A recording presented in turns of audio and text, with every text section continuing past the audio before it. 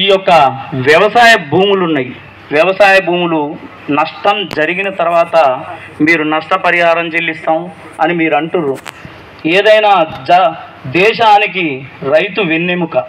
అటువంటి రైతుకి నష్టం జరగకముందే తగు చర్యలు తీసుకోవాలి. కానీ నష్టం జరిగిన తర్వాత మేము ఆలోచిస్తాం విచారణ చేపడతాం అగ్రికల్చరల్ ఆఫీసర్ని పెడతాం. ఇట్లాంటి చెప్పగాకండి. ఎందుకంటే మేము చూసి చూసే ఉన్నాం ఒక ఐసెల్ ప్లాంట్ యాజమాన్యాన్ని.